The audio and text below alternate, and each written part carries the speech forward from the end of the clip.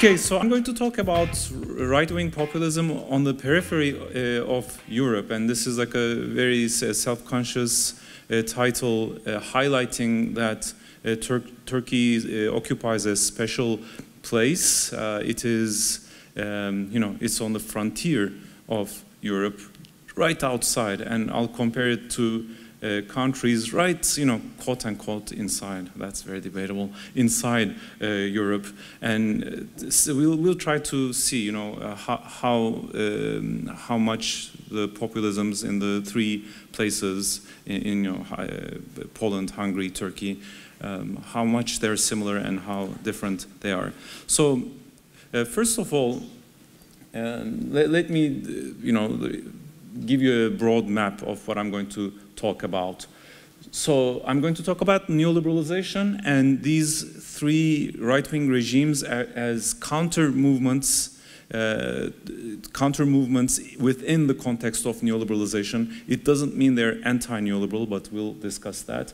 And if they're all, if all three of them are counter movements, why are they different and what are the similarities? So I'll, I'll uh, in, before I go into the details, I'll quickly point out some of the basic similarities and some of the basic differences. And then I'll try to answer this uh, question, the main question of the talk, why the differences, by focusing on political economy, uh, civic legacies, and then uh, world imperial uh, balances, and then I'll wrap up with a summary, and hopefully we'll have a rich discussion. So the, the background to all of this is the dashing of liberal hopes, uh, which had peaked in the 1990s and 2000s. What were these liberal hopes? Uh, well, uh, primarily it was uh, that the market would induce welfare. So the, the market would, you know, rising uh, tide lifts all boats kind of thinking. Everybody will be fine if we turn towards the market and work more, of course. And that's not, uh, that's not it by itself.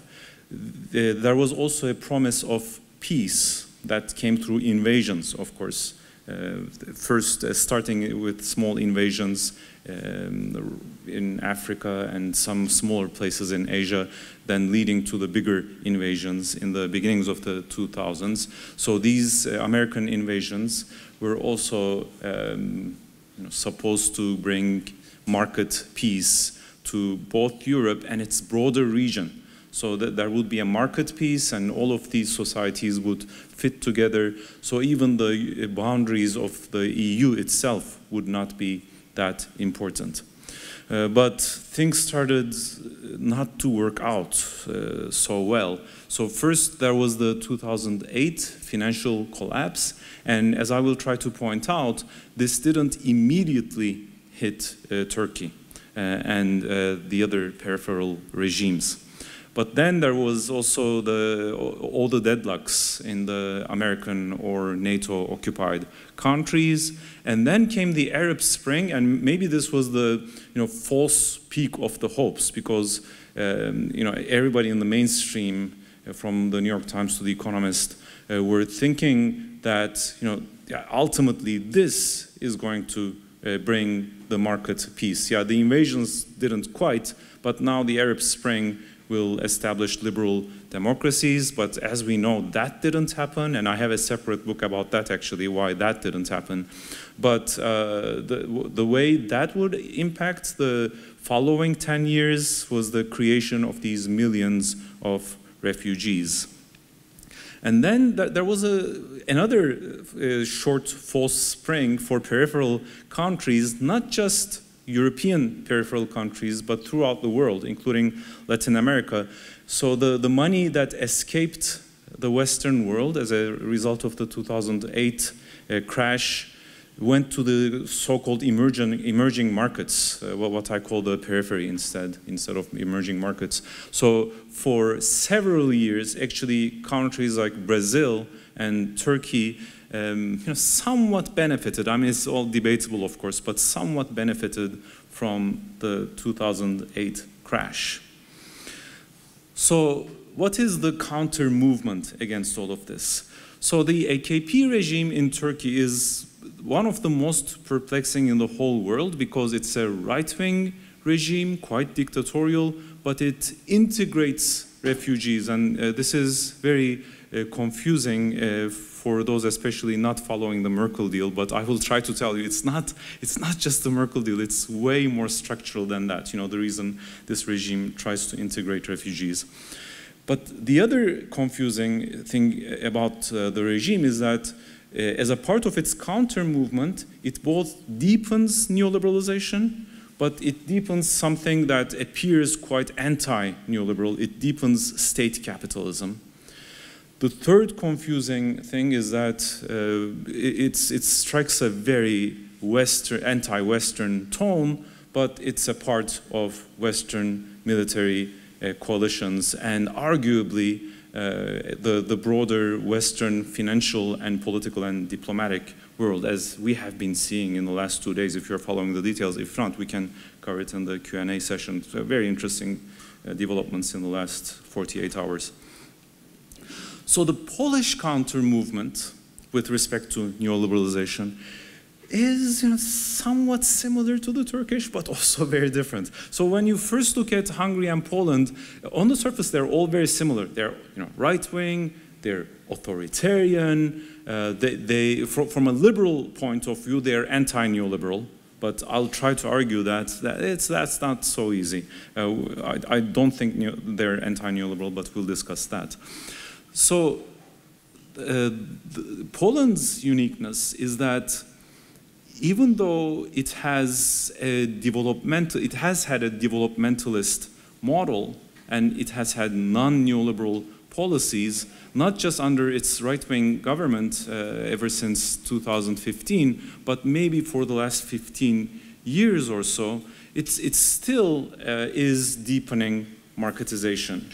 So in that regard, it looks like Turkey, but as I'm saying, the, development, the economic policies are even more developmental, not just simply state capitalist. They, they have this strong developmentalist ethos. We'll come to why that is the case. And uh, it is like the other two regimes, like the Hungarian and Turkish regime, regimes in, in its authoritarianism and uh, you know, anti-EU value talk, but it is much more aligned with the integration of Europe. And despite all spats with the EU, it, it keeps more uh, diplomatic, uh, diplomatically positive relations with the EU. The Hungarian counter movement is a variation on all of these themes. It's much thinner in its developmentalism. So you see a specific kind of state capitalism that is less developmentalist, and I'll tell you uh, what I mean by that as we go into the details. It has relied on an apparently anti-EU stance, but it is very much dependent on Europe, actually, especially Germany. And both regimes, unlike the Turkish regime, both, both the Hungarian and Polish regimes are uh, explicitly very anti refugee, so they, they fit uh, the right-wing stereotype more than the Turkish one does. So what explains the differences? Uh, three hypotheses, and not all of these are supported equally, but uh, we can talk about that later, uh, maybe in the discussion part. So uh, first, political economy, and political economy has at least, uh, you know, to, even this is a simplification, but the, uh, the political economy I will talk about has at least three dimensions. The accumula accumulation and welfare regimes in these three countries, the relative strength of the domestic capitalist classes in each country, and then the, the broader social coalitions, socio-political uh, coalitions these leading domestic bourgeoisies have built. So that's the political economy part.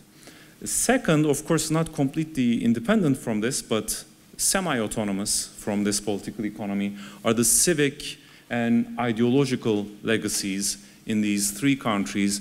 Uh, and here we see a lot of differences, actually. Uh, and I'll try to talk about some of these uh, as much as uh, like a short talk as this one allows.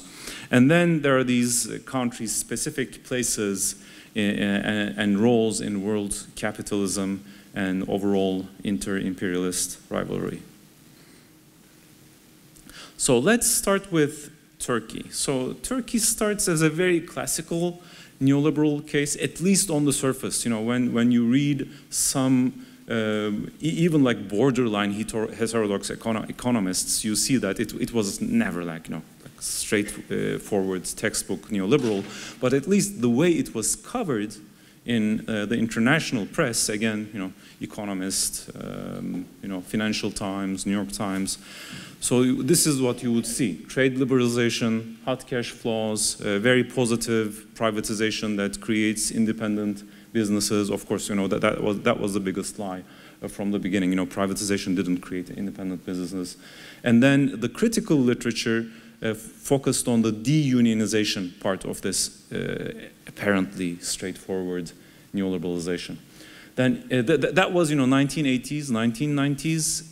That, that first line continued also into the 2000s.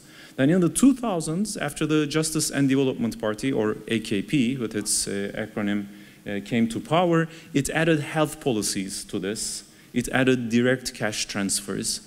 And we shouldn't look at this as anti-neoliberal either, but you know, this st starts to introduce the idea of counter movement. So welfare policies that can go together with neoliberalization. And of course, the AKP itself didn't create these. The World Bank and IMF uh, suggested these policies. Not all countries, in, uh, you know, put them into effect with the same effectivity, uh, but Turkey was very effective because, you know, the, the um, well, the because is later actually. So, but for now I can tell you these were pretty effective, uh, except in education. So they, they de-emphasized the educational part of what the World Bank and uh, the IMF were suggesting as uh, social uh, neoliberalism. So what was less visible or less covered in the international uh, press uh, and even in some of the critical literature in Turkey, in, in this very first decade of more straightforward neoliberalization, was a state-boosted construction sector, everything from you know small buildings to mega projects, where big and small construction firms were created, and uh, the, you know lots of winners all picked by not all but the bigger uh, ones picked by the government handpicked by the uh, government. So you know that that privatization was always you know somewhat non-neoliberal or non-textbook uh, neoliberal from the get-go. So the, the privatization didn't create independent businesses.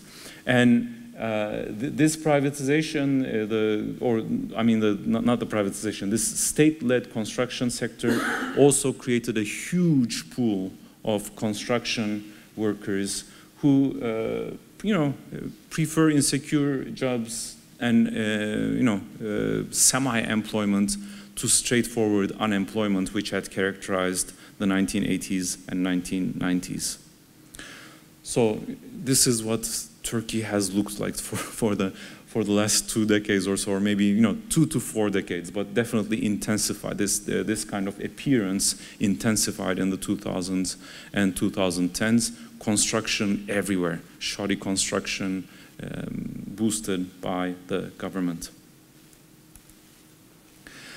So in the 2010s, we start to see something different we start to see the mobilization of state capitalist tools without completely doing away with this overall neoliberal uh, orientation that is uh, characterized by uh, privatization and uh, financialization, but trade liberalization gets dropped from the agenda.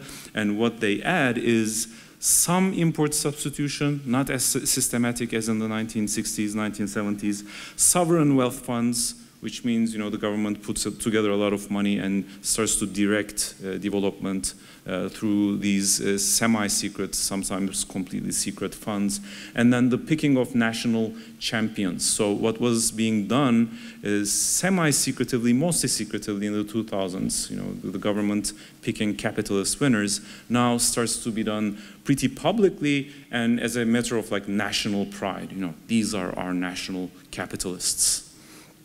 And many of these uh, national capitalists are concentrated in the war industry. So they make drones, they make tanks, they make battleships, I mean serious war industry, and they want to do more. we'll, we'll discuss, or we, we can discuss maybe later if they can do more. But uh, as you know, in the uh, Ukrainian invasion, uh, the, the, Turkish drones have become pretty important. Uh, even Fukuyama was you know, ecstatic uh, about how effective Turkish drones were. Uh, so, it, but it's not only that. So there's the visible part, but then there are sub-industries of this war industry, a huge expansion in the uh, metal sector. And you know, the metal sector is not just one thing. I mean, it's like a chain of businesses and industries and sub-industries. So all of these policies have strengthened what I call the state capitalist bourgeoisie. So in the in the construction sector, there are also you know like smaller and medium-sized businesses, which I wouldn't call the state capitalist uh, in the uh, bourgeoisie, but there are also like these giant state capitalist uh, uh bourgeois uh, families also in the construction sector. But when it comes to the war industry, of course, I mean the, you don't you don't have a lot of small businesses. It's usually huge businesses, uh, very visible, uh, but, but their production is not visible. It's, it's usually in, in the hinterland of Istanbul. So what about labor though? That, that, that part also has become very in, interesting because unlike this uh, very compliant construction labor, construction sector labor, the metal sector, the metal industry labor is very concentrated. And as we know from history, from Bismarck, from uh, like uh, so pre-Soviet Russia, right before Soviet Russia, th that, that's where you get most of the action. You know, war industries, metal uh, sub-war industries. So the same thing happens in Turkey.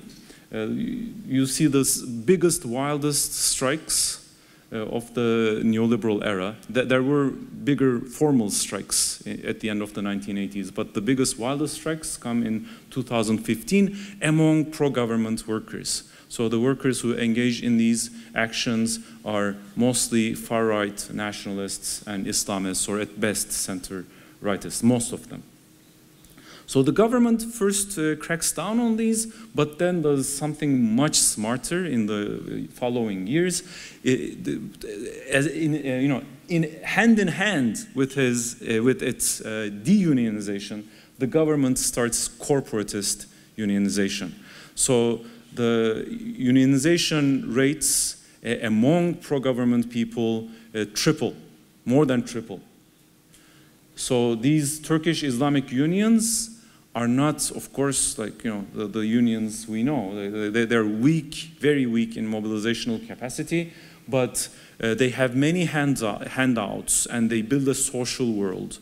Uh, they give Islam, they provide Islamic education. So they, they build like, you know, small neighborhoods really in, in, in factories. So this is very much modeled, of course, after uh, corporatist, uh, fascist Italy. Um, so the, the clear losers of all of this is on the, on the one hand, old organized labor, that, that keeps losing throughout this era. So the wildcat strikes don't do much for uh, old organized labor. And the educated middle classes. So they continue suffering into the 2000s and 2010s. Well, not, not 2000, sorry. This is like post, uh, post financial crash. So the educated middle classes, post financial crash, start to suffer in Turkey. So this is uh, a picture from the uh, Wildcat strikes. Uh, massive events, uh, but without any resultant uh, militant uh, unionization. Instead, they end up in corporatist unionization. So, you know, that's the political economy.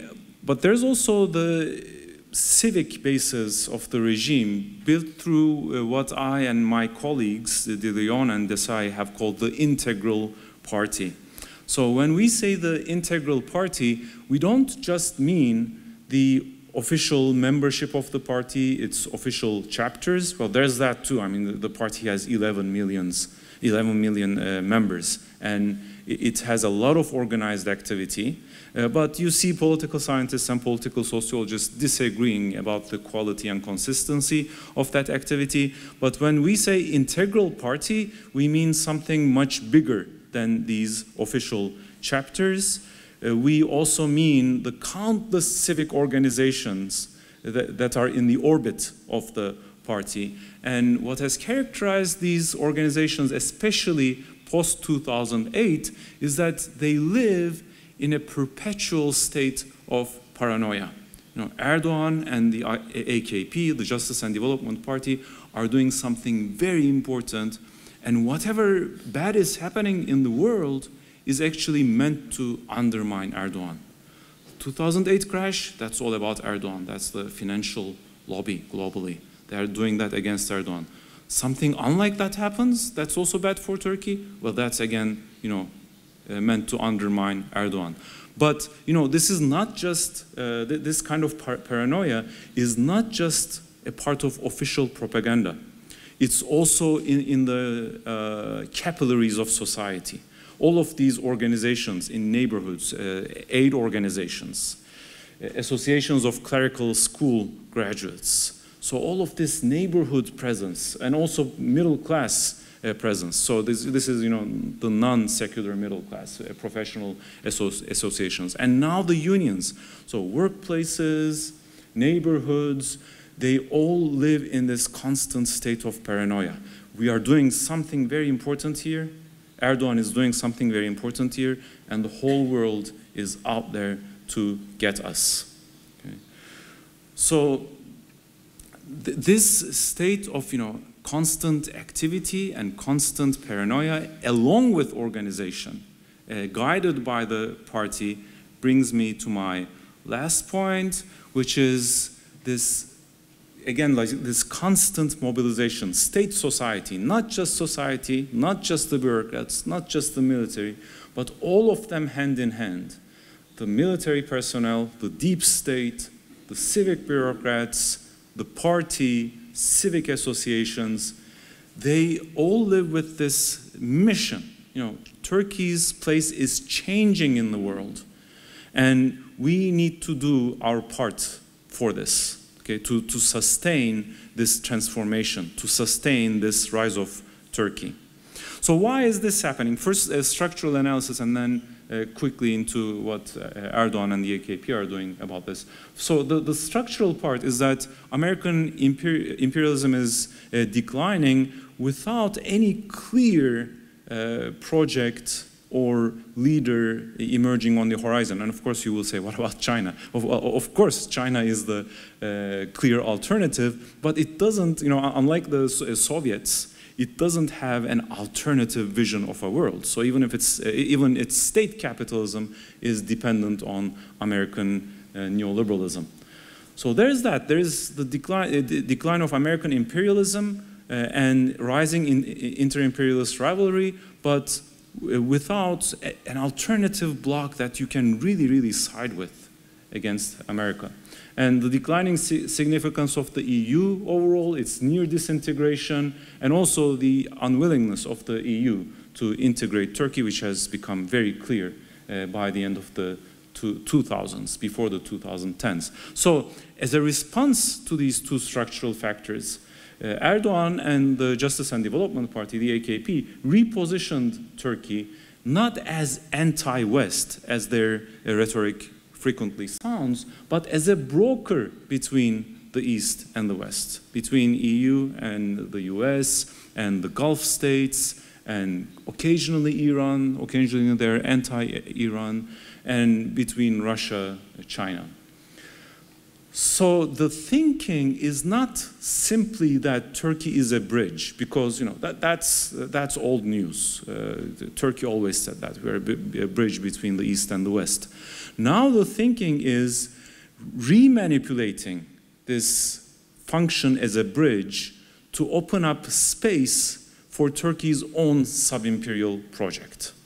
So this is also how the vision of the military is changing. So this is not just in the head of Erdogan. So the, uh, the Turkish military is also uh, reconsidering its role in NATO. It's not becoming anti-NATO, but it's thinking, a lot of uh, military leaders are thinking, we can do something bigger than just being an extension of NATO. And uh, one manifestation of uh, that is uh, the blue homeland fantasies of the Turkish military, uh, which the AKP has turned into a more Islamic uh, Ottomanist fantasy, and the Mediterranean energy policy. So Turkey is a part of the, the energy wars now in the Mediterranean, and it's not simply serving the uh, US or NATO as it used to, but it is still serving the NATO. So it's, it's like a very interesting change of role. It's doing both, you know, being, uh, being a sub-imperial uh, uh, power in its own right, but still a part of Western imperialism.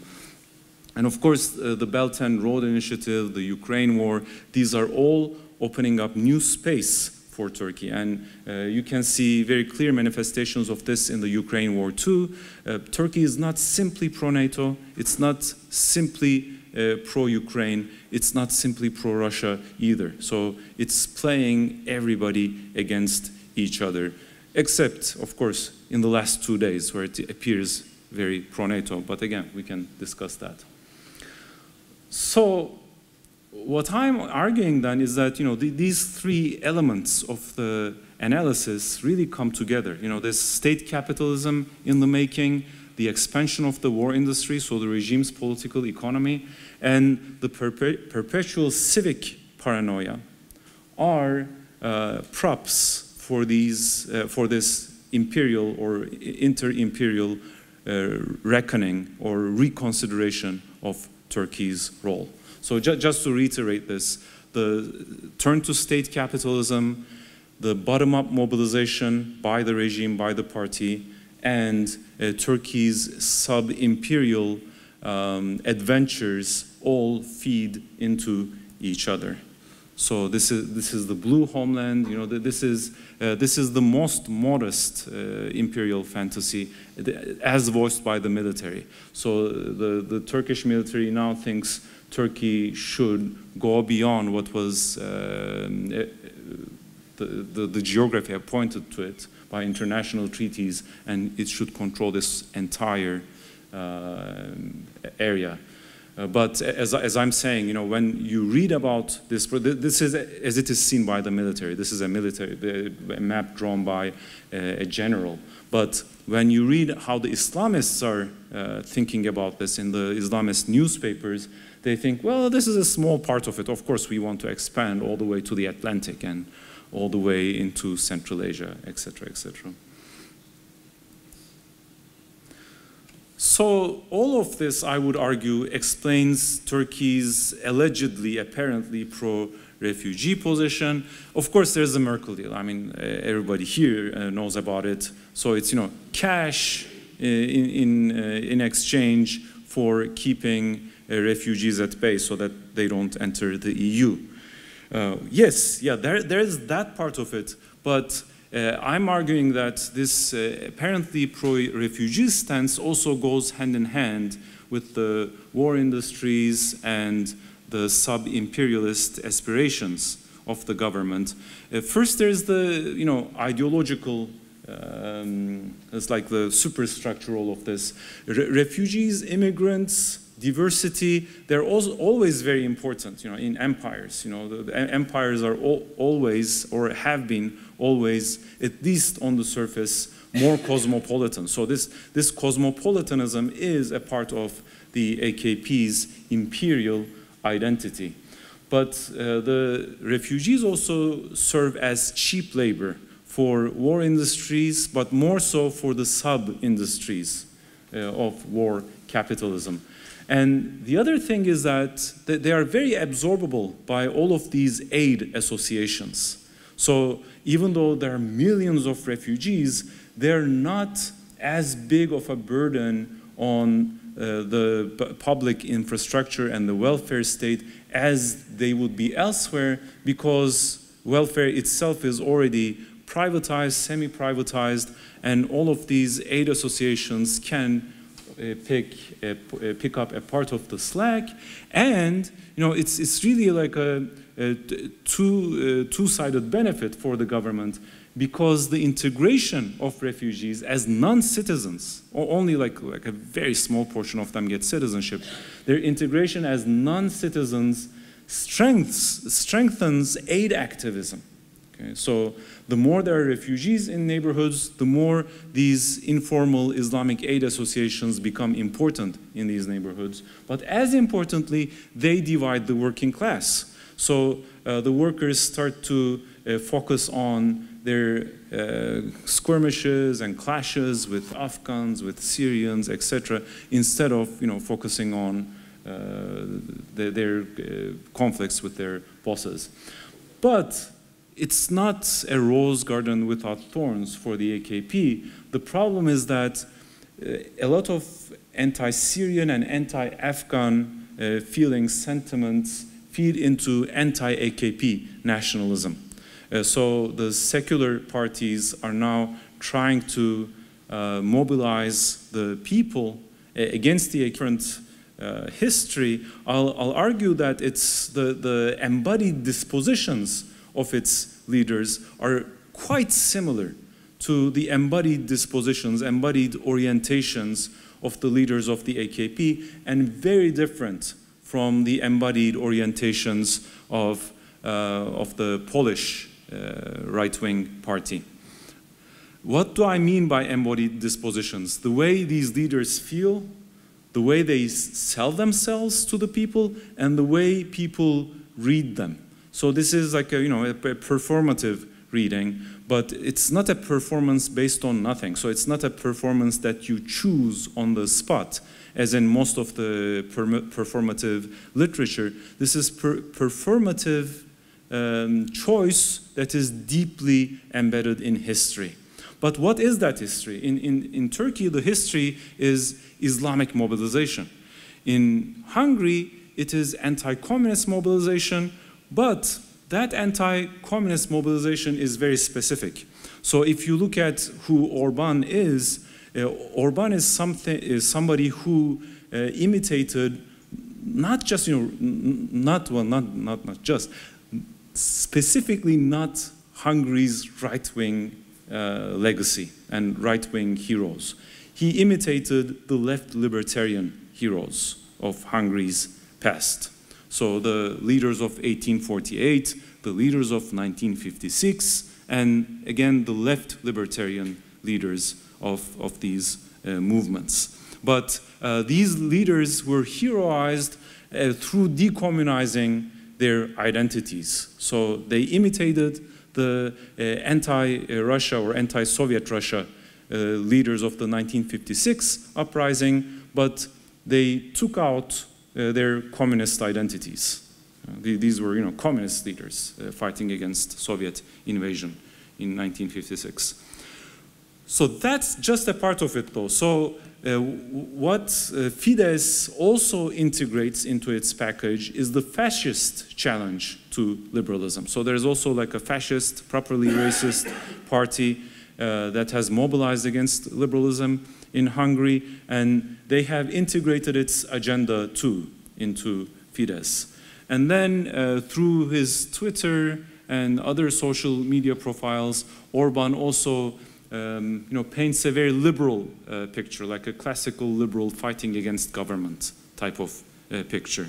Well, of course, in a very national conservative way. So the, the fight is, you know, sounds liberal. It's anti, uh, anti-bureaucracy.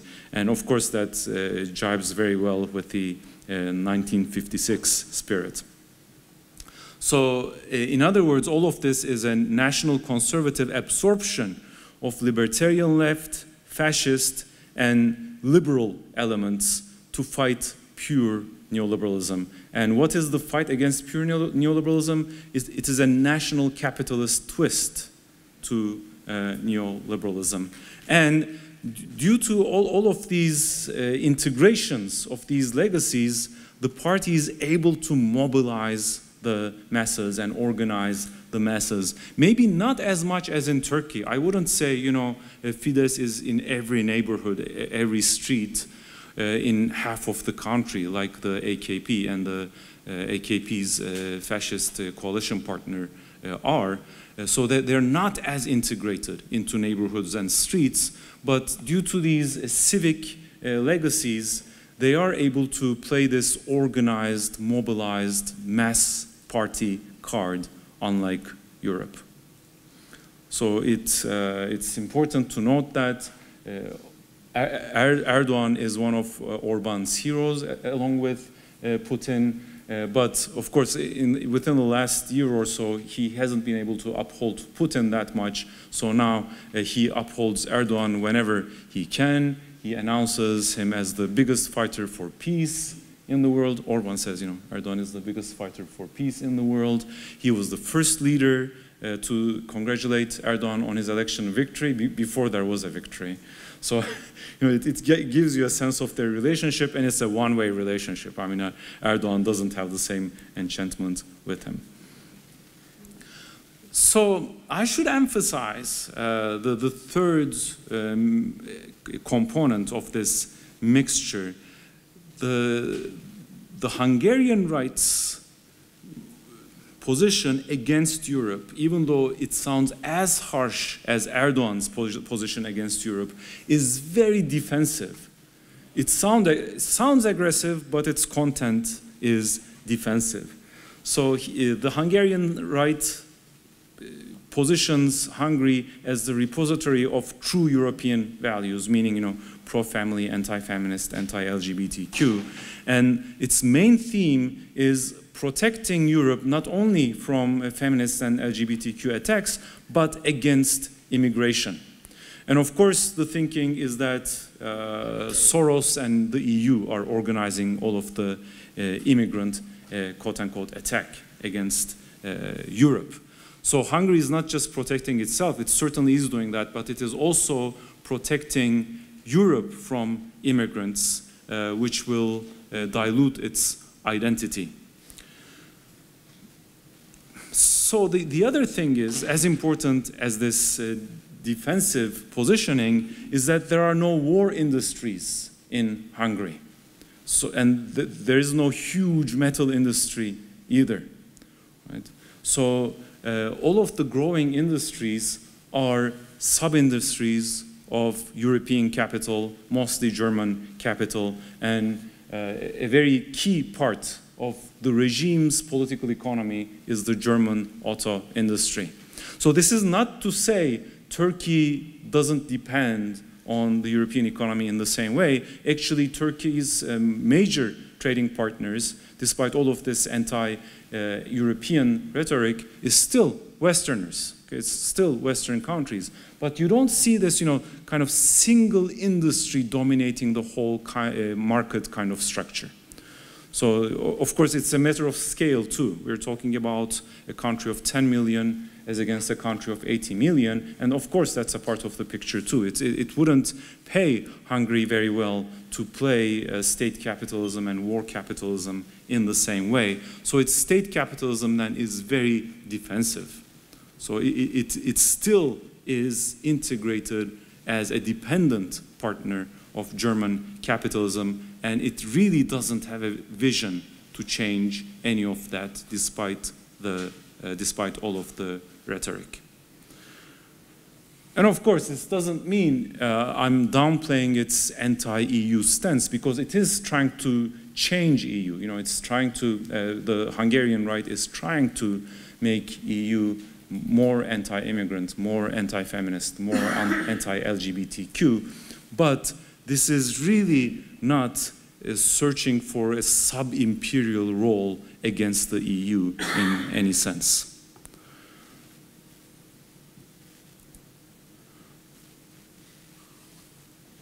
No migration, no gender, no war. Yeah, we're also anti-war.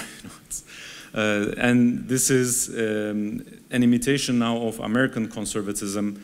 Uh, the CPAC is the organizing ground for the American radical right once it was the organizing ground for the center right, but the center right doesn't organize anymore. So the radical right has appropriated that game in the United States, and Orban is trying to do uh, the same and trying to turn this into a base for the reorganization of the European right. So Poland, despite the you know similarities I have emphasized, yeah, it is anti-LGBTQ, it's, you know, I mean, the government. It is anti-feminist, it is anti-immigrant, etc. But beneath all of these similarities, there is a very important uh, difference. And that difference is that Polish route to neoliberalism has been worker stamped, but in a very twisted way. So it's not, you know, like a proletarian organization really controlling neoliberalization. It's not like that. It's very unintended and very twisted. But that has created a state capitalism actually much healthier than in uh, Turkey or Hungary. So what do I mean by that? Well, we, we first need to have a very basic understanding of uh, Solidarność. Of course, it's, uh, it's one of the most important uh, movements of world history, so I, I, can't do it justice here. But I'll just simplify it by say, saying Solidarność, even though it's a worker-led movement, it's a workers' movement, organized occasionally by engineers and others, but it's a workers, it's a labor movement. But it always denies its uh, worker identity, its proletarian identity, and it, it, always presents itself as not economic. It's always like a political movement, but it's a militant political movement, of course, self-limiting militant movement. So why does any of this matter? Because in the 1990s, labor, as a, as a result of this le legacy, has slowed down neoliberalization and controlled neoliberalization in Poland, again, without intending it. And uh, as a result of this, industrial policy and state enterprises have been relatively shielded. I'm not saying there was no privatization. Yeah, many things have been privatized, but the most strategic sectors have not been privatized. Okay, so even banking. Yeah, there, there was some, you know, uh, cent central bank autonomy at some point in uh, Pol Polish neoliberalization, but the banks overall uh, were not completely privatized as in the rest of Eastern Europe. And uh, after 2008, after the financial crash, even the more uh, relatively neoliberal, the most neoliberal party, uh, the Civic Platform, or PO, uh, its acronym, even that party slowed down privatization and undercut central bank autonomy and started to support national capitalists. So, you know, uh, the AKP and Erdogan are blamed for all of this in Turkey. Uh, and yeah, the Law and Justice uh, Party in Poland are blamed for this. But the neoliberals themselves started to you know, uh, cut some aspects of neoliberalism out before uh, the right came to power in 2015. So the result of this is that the national capitalists in Poland never became as aggressive as they did in Hungary and Turkey. In Hungary, as I was saying, they became aggressive because of defensive reasons. I mean, they panicked, they over panicked. In Turkey, they became very aggressive as a result of imperial ambitions. But in, in Poland, yeah, yeah, I mean, they are still, I mean, national, aggressive national capitalists when compared to the rest of Eastern Europe, but when compared to uh, Hungarian and Turkish national capitalists, they're pretty benign people. And one result, or another result of this, is that there were very uh, comparable welfare policies in, uh, in Poland uh, to Turkey. Uh, contrast that to their absence in Hungary. So um, that, that's another way of saying uh, Polish right-wing populism is a populism with a heart, unlike the one in Hungary and like the one in Turkey. So let's not forget that Solidarność rallies uh, were among history's uh, largest organizations and events. This is now very important because Despite this, or maybe because of this, as I will uh, discuss in a minute, Poland became one of the least civic uh, countries in Eastern Europe. And among these three cases, definitely the least uh, civic and the least, uh, the, the right-wing regime that depends the least on civic organization is Poland in this uh, three-country comparison. So why did this happen? So when we look at the 1990s, so by the end of the 1990s, Solidarność membership had dropped to one-tenth of its 1989 figures, one-tenth. That, that's an incredible decline.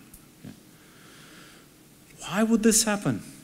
Because workers mobilized, and unlike in the 1980s, the engineers and the leaders of Solidarność didn't stand with the workers.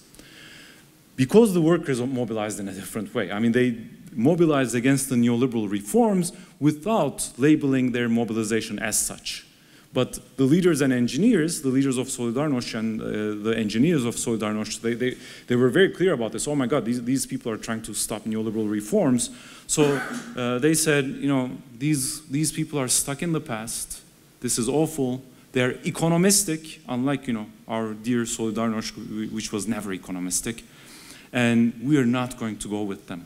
So the movement split, basically. You know, that was the de death of Solidarność as we know it. And, you know, one uh, wing of Solidarność mutated into uh, the governing party PIS in, in Poland right now. So in this uh, overall atmosphere of declining civic activity, where, you know, workers were shunned by engineers, the intelligentsia too, not just politicians, the intelligentsia also said the same thing. You know, this is not the Poland we want. These, these people are just trying to fight against uh, market reforms and they're trying to stick to their uh, communist um, privileges. These privileges are ho horrible, the intelligentsia was saying. You know, we have to teach them that this is not what Solidarność was about. So the more the intellectuals said that, you know, the, the more people started to uh, stay at home. So that, that's how Poland became one of the most demobilized countries in the region.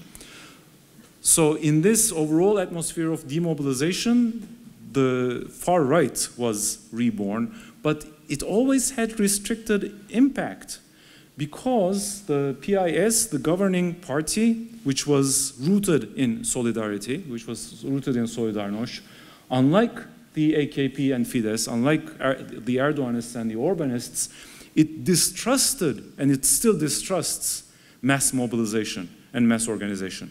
Or you're going to say, I mean, come on, you know, people of the far rightists are mobilizing and demonstrating in Poland, and the government sides with them. Yes, but it's it's very surface. It's very it's a surface coalition, unlike in uh, Turkey, where the party is, you know, organizing the grassroots. And Orban is at least trying to do this. We can discuss how successful he is. But uh, the, uh, the Polish leaders, the Polish right-wing leaders, just pay lip service to this, then essentially do nothing, except showing up, you know, and uh, behaving as if they really care. My reading is that they, they don't really care. They, they don't actually want this. But they say enable some activity, but they don't organize the activity. So unlike uh, Fidesz and the AKP, the, the party's role is not an enabling role, it is, uh, sorry, it's not an organizing role, it is an enabling role. So today I would say, um, except the welfare policies, which I ca called you know, pop uh, populism with a heart, Polish populism is very much from above, unlike especially Turkish populism. So there is no integral party in Poland. There is a party and there are some fascists, but these are not integrated. There is no integral party. One indicator of this is that the Turkish party has 11 million members, the Polish party has 40,000 members. Well, we should always distrust these, uh, you know, figures. You know, what does 11 million mean? I mean, we, we are not talking about really 11 people, 11 million people who are really cadres. Of course not. But still, I mean, it shows you something. And when you look at the uh, activities on the ground, uh, there, there is something more. It's not just you know paper membership. Yeah, a lot of people, uh, these people are paper members, but a lot of them are not. So Europe's largest right-wing rally, yes, it is held in Poland, I know but it has maxed at 200,000 people with all of these, you know, uh, non-Polish uh, fanatics participating in these events. And in Turkey, you can uh, easily uh, mobilize millions uh, of far-rightists on the streets.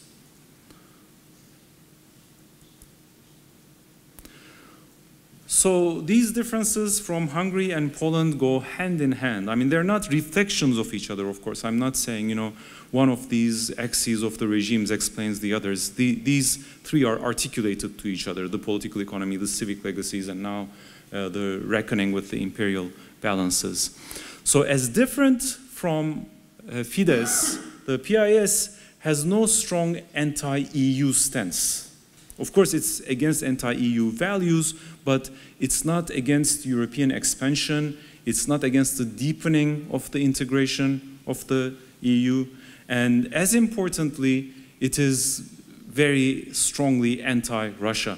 Actually, the party sees its priority as being anti-Russia rather than being anti-EU values. Whereas, you know, for uh, Fidesz, the priority is clearly, you know, foreign policy uh, priority is being against the values of the EU, if not against the EU itself.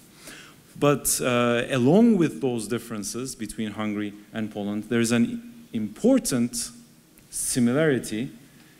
Both countries lack any sub-imperial ambitions. So despite this strong state capitalism, there is no real war capitalism in Poland.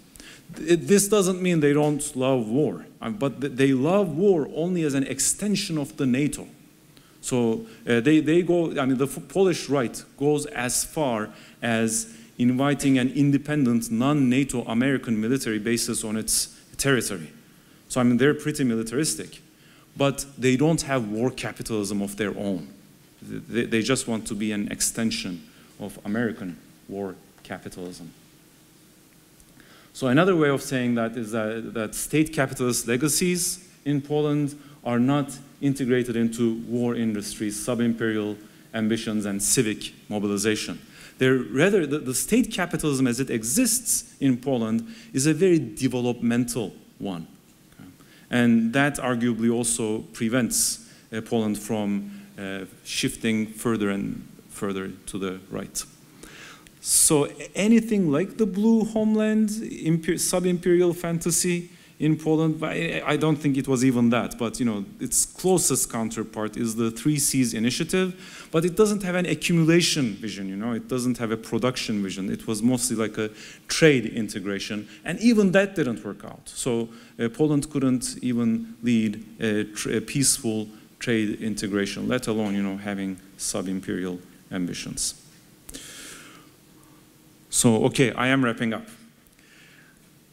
So just to remind you of the overall arc of the talk.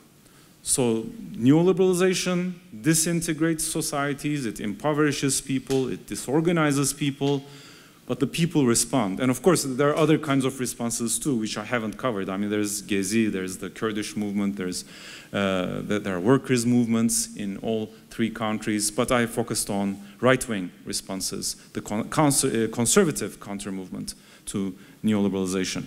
So in, in uh, Turkey, the uh, right-wing counter-movement to neoliberalism has shaped up as aggressive war capitalism, whereas in Hungary it has shaped up as defensive state capitalism. But let me emphasize that this you know, counter-movement idea doesn't mean these countries are now against neoliberalism as such. They're still a part of the neoliberal world and its uh, trade balances, and they hope to benefit from that neoliberalism, and they still do deepen, uh, for example, neoliberal employment policies, and neoliberal uh, shop floor policies. The, the work regime is still neoliberal. It's isolating, it's flexible, uh, and it's disorganizing, uh, well, with the caveat that, that there are these uh, corporatist unions in Turkey. So I have tried to argue that immigration policy is a, a, result rather than the driver of, of, all of these differences. It doesn't mean it's completely derivative. Of course, it's an important maker of this overall picture. But immigration in itself, or you know, being anti or pro-immigrant, doesn't make sense independent of all of these uh, changes in the political economy and uh, inter-imperial uh, repositioning of these countries. But I want to uh, end with the question of how sustainable uh, this state capitalism and imperial fantasy can be in Turkey. So in the last two weeks, we witnessed how the uh, president and many of his ideologues have gone in the other direction. So now uh, they're emphasizing economic orthodoxy, uh, they're emphasizing positive relations with Europe. Um, so it, that gives you a sense that state capitalism will not go very far. So today they're playing the pro-NATO game. But I would argue that this is a game too. So they will, in six months or 12 months, who knows, maybe 18, 18 months max, they will go back to their state capitalism. But that will not mean they won't ever go back to economic orthodoxy. So they're going to swing back and forth uh, quite frequently as they have. So I wouldn't change any, uh, I, wouldn't expect any real change of track in Turkey in this regard. So I, I wouldn't expect any real, no, what, what do I mean by real? Um, I wouldn't expect any post-war type of state capitalism from even Turkey, let alone um, Hungary. And as I have been saying, perhaps Poland, you know, Poland's state capitalism is way more uh, sustainable and serious uh, than, than, Turkey's. So Turkey will not build a state capitalism as it did post-1930s and even more so uh, later on, uh, would be my uh, speculation. And the same thing with the pro-immigration stance. So the, the government ha has done a lot of you know, going back and forth on this too.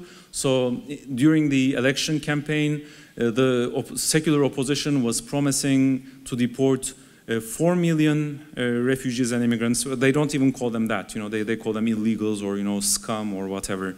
Um, they sometimes say 10 million. So they argue, you know, that there are 10 million, not, not really 4 million. So they say they're going to deport all, all 10 of them. And as a concession to that, the AKP also said it's going to deport 1 million. Will it do that? Well, we'll see. Uh, but I w I wouldn't bet on the AKP not doing that either. So it's, it's a very unpredictable party, and unpredictability is really a part of its game. Uh, and that is not a simple choice, as I have been trying to emphasize. Uh, the party is unpredictable because neither neoliberalism nor pure state capitalism and nor sub-imperialism, a real imperialism uh, that goes beyond just being an extension of NATO, is really sustainable in Turkey. If, if you know, state capitalism and imperialism could turn into real things, then yes, I mean, these uh, 4 million or whatever refugees and immigrants could become a more mainstay of Turkey. I'm not saying citizens, but you know, subordinated populations within Turkey with some sort of secure, object, but secure existence. But because of all of this mixture of you know, nationalism, imperialism, neoliberalism, state capitalism, I, I don't find their pro-refugee stances very sustainable either.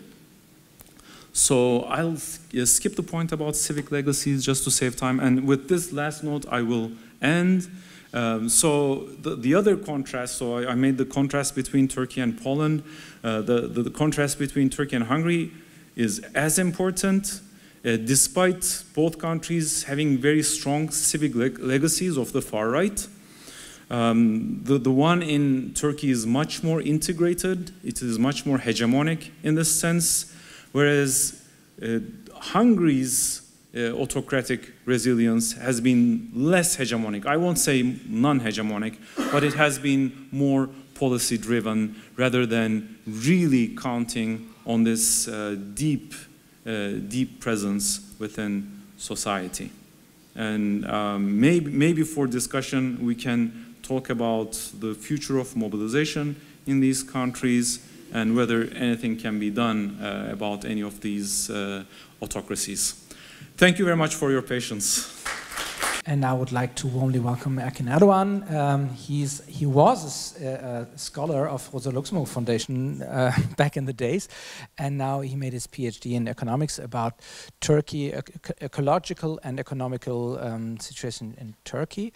And he will facilitate uh, the talk and uh, have fun at the debate. I would like to uh, say some words about uh, Cihan Tuğal. As you also know, he's a professor of sociology at the University of California, Berkeley.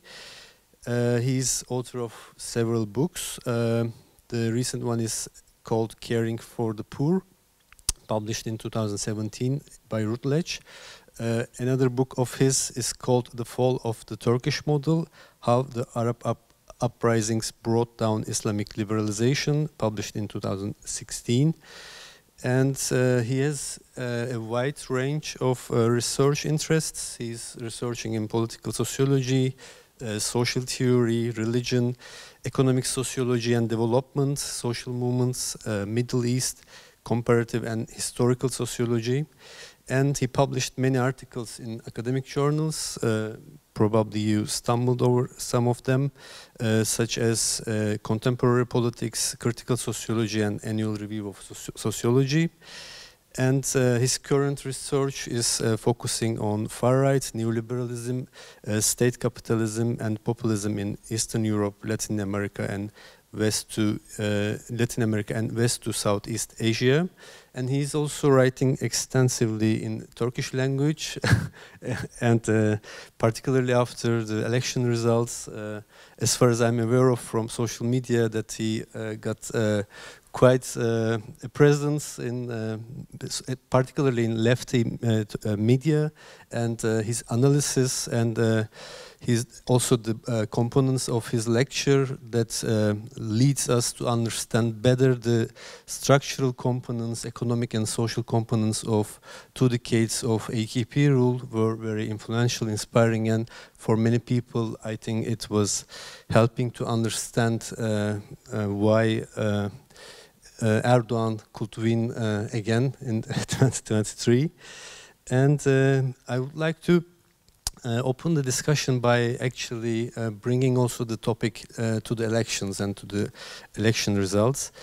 And um, yeah, uh, as said, uh, I think presentation was very inspiring. Also for me, I learned many things. And for me, particularly what what's particularly important is that the shifts of AKP rule in two decades, you discussed uh, and uh, defined the first uh, decades, like 2000s, as the classical, not classical, but uh, so to say, some sort of classical uh, neoliberal era, and the second era, you define it as uh, neoliberal statist regime. Uh, but at the same time, uh, what uh, we faced in the uh, five, six years of AKP rule, which was also discussed in the uh, left, radical left a lot in Turkey, as far as I'm aware of, that this period was also a period of a shock in distribution. So there was an economical challenge, inflation rates got high, because of AKP's uh, economic policy mainly, because they prioritized uh, import uh, sectors, uh, ex export sectors uh, rather than the import. And uh, this led to de declining share of labor in the overall gross product. And this led actually to many people and also the opposition that, uh, that, many people expected an easy defeat of AKP actually, like that they will fall immediately, suddenly, uh, actually without doing much. And this was even the, uh, probably uh, you also uh, followed from the media. This was even the uh, parole of the opposition, like be quiet, we are winning the election, so everything will be all right when we are in the government. Uh, so my question is uh, uh, twofold. So on one hand, we saw the victory of Erdogan, um, which is uh, certainly a success from his point. But on the other hand, I mean, this was not one election in the end. It was uh, an election with two rounds and plus there was the parliamentary elections. And in the parliamentary elections, we saw that AKP lost 6%, which is actually not discussed quite much. Uh, and uh, I would like to ask you how you see these uh, results, in which has different uh, layers. Uh, do you think it was a clear win for AKP rule? And do you think they are more uh, confident in having more steps? Or do you think that this was a difficult period for them and that's why they cannot do more or they cannot continue as they were. So that's why actually you also mentioned this in the end. Uh, is that why they uh, are uh, some kind of having shifts into more uh, classical orthodox policies and um, yeah, uh, they're becoming um, uh, like a more loyal partner of the West again? Is that, let me put it like this, how do you read the results of the elections? Yeah, uh, quite good questions. Let me start from the very end. So, are they really becoming Orthodox again? As I said, I, I, I think there will be an Orthodox phase. I, I just can't say whether it's going to be one month or two months or 18 months, but I think it's going to be short, relatively. So, why are they doing this? Are they doing this because they kind of got hurt in the elections? They lost some ground? Possibly. But I think the real the reason they're doing this is much more structural. I, I think they simply need money. Like the, the, the, the state capitalist turn also depends on uh, the um, uh, fe the federal bank, the I mean the central bank having some reserves, and they're out of reserves. So they need money uh, from outside. And you know, th this was the opposition's biggest promise, by the way. So they, they were, uh, whenever they said anything about the economy, they were talking about raising interest rates so that uh, the global cash flow would be restored. And this is exactly what Erdogan did as soon as he uh, came to power. He appointed one of his uh, prior, but one of his pre previous uh, finance ministers who was uh, more orthodox than the other ones. So that's not what they're doing. Uh, but I think they're doing this because of structural reasons, and they will get this money. And again, my speculation is that once the money is secure, once there is some uh, uh, flow back of global cash, uh, they will again appropriate this money for state capitalist purposes, and then they will revert back to state capitalism. And I think, by the way, um, I think there's some uh, there are some delusions about this in Turkey in, in, in the Turkish opposition. They, they, some people, not, I, I, won't say a lot of people, some people are buying into this that they're going back to orthodoxy. But I don't think uh, the Western powers are falling for this. I think that they're doing a more careful read of the situation. So they kind of expected an Erdogan win anyway. Uh, they, they were less uh, surprised than the people in Turkey. And now I think they're less uh, hopeful than the people in Turkey uh, about Erdogan becoming Orthodox again. I, I, think this is like a very short phase. They will collect the money and they will uh, go back to state capitalism. But as I'm saying, I'm not taking the state capitalism extremely seriously either. So that that has short, that will also have a short lifespan, and they will again go back to orthodoxy. Uh, but this doesn't mean they didn't lose ground in the elections. They did lose ground. I'm just saying the Orthodox turn is not a response to that. The Orthodox turn, in my reading, is a re response to structural reasons. So why did that uh, lo uh, loss of ground occur? So if, as I'm saying, they're so rooted in society and uh, they have fed so many people, etc., why did they lose any ground? Um, they, they lost ground, but th let's be very careful about this. So Erdogan didn't lose votes, right, or not not much anyway. So the party lost votes. So as, as you, I mean, as, as, you carefully said, the presidential vote didn't go bad for them, but uh, the parliamentary uh, vote uh, did go bad for the AK party, for Erdogan's party. But all of the votes they lost went to their uh, fascist coalition partner. So we, we have to read it in that context. So the lost votes didn't go to the center right or the center left or the far left. The, the votes lost by the radical right went to the radical right and not even like warring factions of the radical right, but you know that these are coalition partners. So what does this mean? Again, of course, I mean this is there, this is going to be some interpretation, but uh, not out of thin air. Uh, this is interpretation based on you know journalistic reports and whatever we know from the polls. Um, it looks like pe people are somewhat upset with what's happening, but they don't see an alternative. So they don't see whatever the opposition is saying as an alternative. So they, I'm of course talking about the government, government, uh, you know, Erdogan and uh, fascist supporters, not not the other half of Turkey. So half of Turkey, they are upset, but they don't see an alternative. So how does this translate into the vote? they want their voice heard, just like in the metal storm, just like during these strikes. They want their voice heard, but they don't want to topple Erdogan. They don't want to seriously hurt the party either. They don't want Turkey to change track. So uh, both the national capitalists and uh, the working class, they want to stick to this uh, war capitalism and imperialism is my read of the situation. So this is how you do it. You know, if, if you want to uh, say to Erdogan and the AK Party, well, we don't like everything you're doing, but you're on the right track. So what do you do? I mean, you go vote for the fascist partner. Uh, so I, that, that's my read of the situation. Of course, that's like very reductionist because there are other things going on. I mean, the, one other component of the picture, but I mean, that, that's my main message. So I, I want to, you know, highlight that. But there are other things going on, such as, uh, at least for this election cycle, nationalism was as important or perhaps way more important than religion. So that, that's why we see uh, votes shifting from the Islamic party to the fascist party or the Islamic fascists, from the Islamic fascists to the nationalist fascists, if you want to uh, call it that.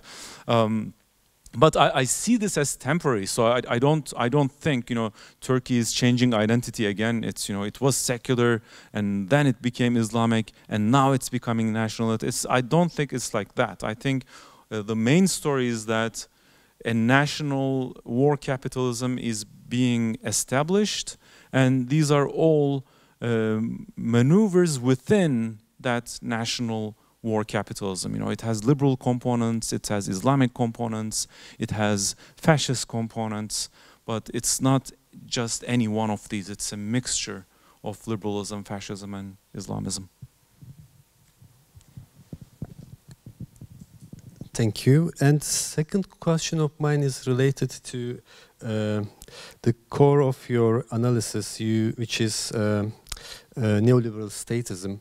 Uh, you call uh, or you use the term state capitalism, as far as I'm understanding, let me correct, uh, please correct me if I'm getting it wrong, like state-led capitalism, as far as I understand, and uh, the industries which are being um, uh, organized and structured even by the state-led, um, which by the government, let's say, and, um, and you also say that uh, statism is actually eroding uh, neoliberalism in your uh, uh, in one of your research articles.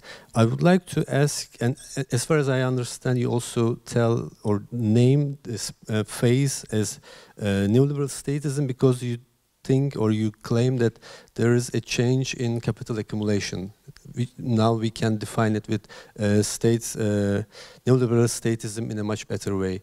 So I would like to ask uh, to which level this uh, eroding of uh, neoliberalism occurs in uh, Turkey example, in Turkish example.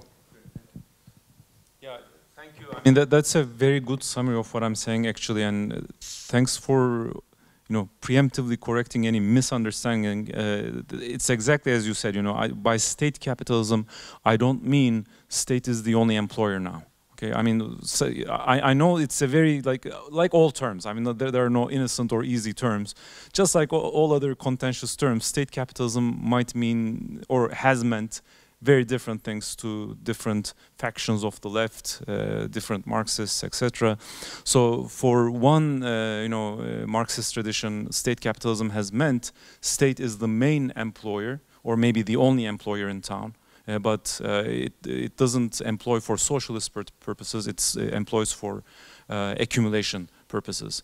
But I don't mean that. I, I, mean it's more in a Bukharin sense. So it's Bukharin rather than Cliff in this context. So Bukharin uh, first used this term in the sense that uh, even the major capitalists must, might still be private, but there is growing state ownership.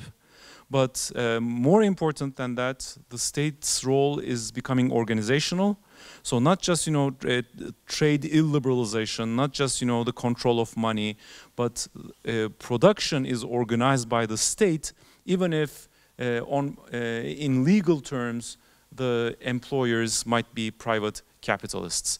Uh, so Bukharin uh, used this term for uh, you know post the emergent capitalism of the nine, post 1910s.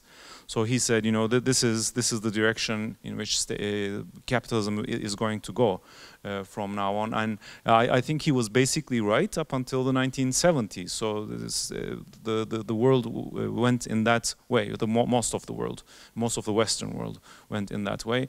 But I think, uh, quite counterintuitively and ironically, today China is the leader of this. So uh, state is a big ownership. Uh, state ownership is a big part of the ownership. Uh, but there are more and more and even growing, uh, significantly growing private capitalists. But still, markets and the stock market and you know employers associations are not organizing production. It's still the state that is organizing productive cycles. So that's what Chinese capitalism is doing. And the, the whole question is, is Turkey uh, going that way? And as, as I said in the talk, if, if there's any strong counterpart uh, of any of this in the region, I think it's really Poland more than Turkey. Um, in terms of you know looking like China. But in terms of in terms of looking like Bismarck Germany, maybe Turkey is closer to that because you know it is very, very much integrated to you know imperial ambitions and whatnot. But let me add one twist to all of this. So th there is a very important difference between what Bukharin called state capitalism and today's Chinese state capitalism, and that is. Um, when we talk about state capitalism in post-war uh, post-war world, post-war Western world, uh, they're the states that we're talking about independent imperial states, the leading states. But Chinese state capitalism is very much dependent, as I said in passing during the talk. It is very dependent on uh, the American market. So without American neoliberalism, you don't have Chinese state capitalism. So that, that's a mind-blowing difference. So what, what enables state capitalism on the scale of China is Western neoliberal demand. So that's worldwide speaking. So when it comes to Turkey and, and Poland, we see a similar picture. So these state capitalisms, uh, uh, Hungary included, even in a much more restricted way, these state capitalisms are very, very neoliberal as I said, both in their employment regimes, uh, flexible working conditions, shop floor discipline, they're all neoliberal, but they're also neoliberal in the sense that they are dependent on the, the world market. Uh, you know, the German market and the German employers even, not just the market in the, in the case of Hungary, so that, that's a deeper dependence. But even Poland and Turkish capitalisms are uh, very integrated uh, into the Western world, and neither China, nor Turkey, nor Poland are really uh, seeking to overthrow that dependence. They don't, they don't have that vision. So, you know, that, that's a structural reason why this state capitalism will never turn into a post-war kind of state capitalism. And from here, I would like to come to your analysis of uh, of, of reading Turkey as a sub-imperialist force in the region. Uh, I also, I mean, you mentioned that this is uh, this has several reasons. One reason, as far as I understood from the uh, lecture, that uh, is that uh, the um, retreat of U.S. in the region. So there is some uh, some possibilities for Turkey to intervene. But correct me if I'm wrong. I also read this as um, an increasing uh, self-confidence of uh, Turkish capitalism uh, because in the first decade of uh, AKP rule uh, the GDP per capita for example increased from 3, about 3000 euros dollars to $10,000 so there was a threefold increase in the uh, GDP per capita. And Turkish companies, uh, firms uh, were operating throughout the region in uh, Middle East, in North Africa, particularly with Iraq and Iraqi Kurdistan. The trade boomed in extensive figures, and so Turkey was feeling quite confident. And after the Arab Spring, then they became more and more active in this policy. Uh, but what uh, I also uh, see and feel like that this policy of trying to use uh, the regional tensions for the uh, uh, interest of uh, Turkish capitalism was not actually bringing a better position for Turkey. it brought more problems, more conflicts, and uh, in the end, the policy of uh, first, uh, the foreign policy of uh, first decade of AKP was zero problem with neighbors, and then in the second uh, decade, the, many people say this as a uh, funny, uh, funny aspect that there was no neighbor where AKP didn't have serious problem and conflict. So, do you think that the sub-imperialism component will play an important role in the uh, next decade or next 100 years of uh, Turkey? 100 is too big. I don't know. I, I, hope not. Uh, well, it depends on us too. I mean, it's, it's, uh, it's not just uh, the AKP who chooses, right?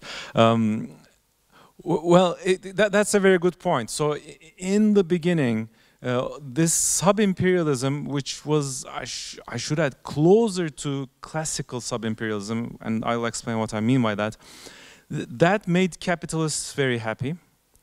And uh, not, not just pro-AKP capitalists or pro-Islamic capitalists, but also non-Islamic capitalists were very happy about uh, what Turkey was doing. Trade with uh, the Middle East and, you know, penetration of Iraqi uh, markets.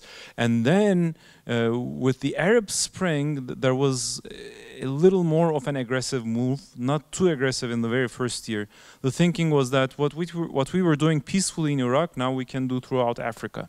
Uh, so uh, Erdogan went to uh, Egypt in the within the first year of the Arab Spring with 500 Turkish capitalists and this was not war capitalism yet. So it's not the, the, these capitalists were not uh, all not all of them, not not most of them were war, uh, war or uh, you know sub-war industry capitalists. They were you know uh, the textile and all, all sorts of capitalists, not heavily metal.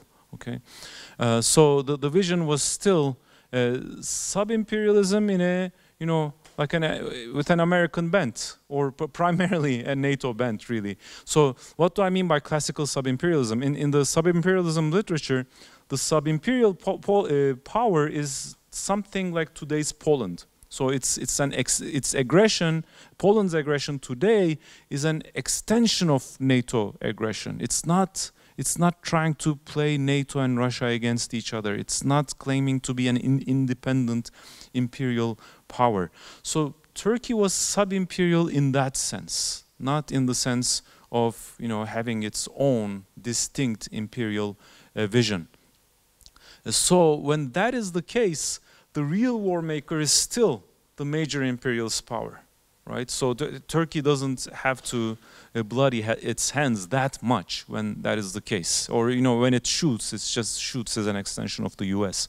But after the Arab Spring failed to bring in the kind of regimes that the AKP wanted, you know, the liberal Islamic regimes, these 500 capitalists uh, that Erdogan took to uh, Egypt, most of them were useless. Well, some of them stayed actually, so that, that's not like a black and white picture either. And many, some of those capitalists stayed in Egypt, and they, you know they're overexploitative, they're, they're very anti-labor, so they you know they they are playing the classical uh, neoliberal game uh, with, with, Egypt, e even when you know er Erdogan was uh, on bad terms with Sisi, those capitalists were there. But after the failure of the Arab Spring, sub-imperialism, Turkish sub-imperialism started to become more independent, right? And uh, again, within the last two weeks, we are getting the sense that Turkey might be seeking to reinstitute its uh, dependence on the US. Um, but just like you know orthodox e economic policies, just like high interest rates, I, uh, uh, I see this too as a passing game. Now they need to play this, and what will they get out of this? So, uh, for those of you who have not been following, uh, what's being discussed in public, what Erdogan is saying in public, is that um, we will accept Sweden's NATO membership if you accept Turkey into the European Union. I don't think that's what he has in mind. I, I, don't, I don't think he's stupid. uh, or delusional. Well, sometimes he's delusional, but not about this. He's not that delusional. Uh, he, he knows uh, Turkey cannot become a part of the EU. Um, so I, I, think that's just for, you know, the audiences. But what's really being debated, I think, is, you know, the uh, warplanes deal uh, with the US and maybe some other things we don't know. I, I can only speculate. I, I, don't, I don't think uh, they are really declaring what they are fighting about. But uh, it seems certain that Turkey is going to accept uh, Sweden's NATO membership and is going to get something in return. Is it going to get uh, something more than these uh, F-16s from the US? I don't know that part, but my guess is, you know, the F-16s is really a big part of this, and there might be something uh, else in the deal too. Uh, okay, th that, that was too many details, but the, the, the short of the story is that I think this, this game is going to last as long as, or almost as long as, uh, the economic orthodoxy game. Um, sooner or later, Turkey is going to start to sound anti-NATO again. It's uh, going to uh, play its own sub-imperial game again. But as I have been saying, I don't find that sustainable either. So uh, the short version uh, to your question is neither in the next 10 years nor in the next 100 years, I, I don't see Turkish imperialism as sustainable or viable. Um, but having said that, let me add one last thing. There are many people in the Turkish military establishment, uh, in the Islamic intelligentsia, who are thinking along these lines. So they are thinking, okay, uh, maybe we can't do much in the next two, three years. Yeah, I mean, we, there, there's going to be a lot of fluctuation. We, we, are going to give in a lot. We, we can't be, become a real imperial power. But we know that the US is declining and it will ultimately fall. We know that the EU is not going anywhere, it's going to be an ineffective power. We know the rise of China doesn't mean there's going to be complete Chinese hegemony. Uh, hegemony. So Turkish imperialism is viable and sustainable. That, that's, not, that, that's what they're thinking. I'm not, I'm not telling you this as what I am thinking. But th that is the thinking. You know, I mean, there's going to be more and more stalemate with no clear world hegemon. And in, in this game, you know, Turkey can become one of the real imperial powers of the world if the AKP stays in power for another 50 years. So that's the thinking. I mean, they're, they're, thinking about, sometimes they say 30 years, sometimes 50. But I mean, they're thinking in those terms, not next 10 years. As you were saying, you know, next 100 years. They are thinking in those terms. I find that semi-delusional, but I mean, there's some, some real basis to this. Because even though, you know, the fall of the US might be exaggerated, the disintegration of the EU might be uh, exaggerated a little, and Turkey's capacity is very much exaggerated by the AKP intelligentsia, but there is some basis to all of this, and we do see this in the war industries of Turkey and in the drone industry, for example. It's just that, you know, in their imagination, this is overblown. So I'm not saying there aren't any, there aren't any delusions, but I, I, I am saying I don't find them completely delusional.